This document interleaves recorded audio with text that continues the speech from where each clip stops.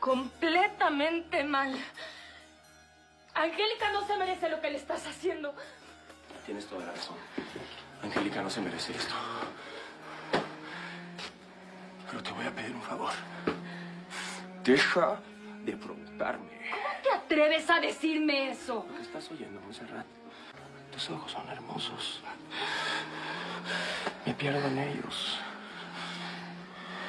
Tu piel. Ya, suéltame, suéltame, José Luis. ¡Suéltame! Entiende una cosa, escúchame bien.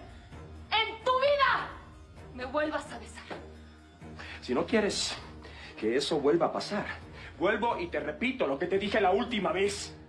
¡Vete de mi vida! ¡Deja de provocarme! Verte, Montserrat,